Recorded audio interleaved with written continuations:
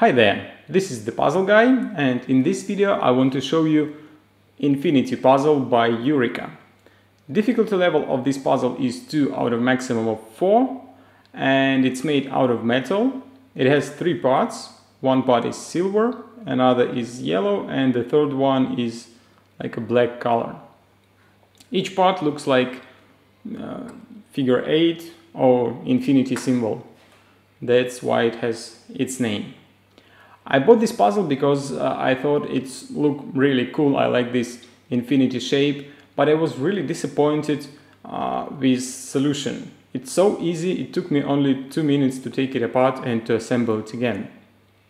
But anyway, it's look pretty cool and sometimes it happens when you uh, see really complicated puzzle, the solution becomes really easy. If you want to buy this puzzle, I will put a link in the description where you can do it. And if you want to see the solution of this puzzle, you can keep watching the video. But if you don't want to spoil all the fun trying to solve it by yourself, stop watching now. The solution is pretty simple. As I told you, all what you have to do is just to push the black uh, part down and the yellow part up. And as you can see, there is a gap in the black part. All you have to, all what you have to do is just to put the two other parts through this gap.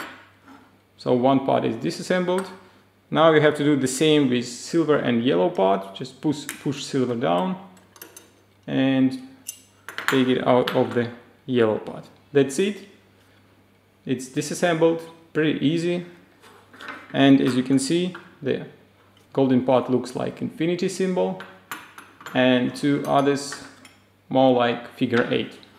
To assemble it again, we have to connect uh, silver and golden parts like this and push the yellow uh, part inside the silver. That's it.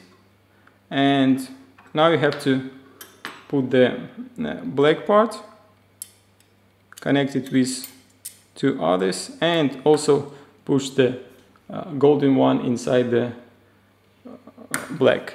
That's it. Puzzle is assembled.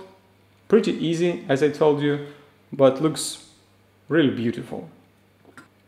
If you enjoyed this video, press like, don't forget to subscribe if you are not subscribed yet, and push the bell button to be notified every time I upload new video.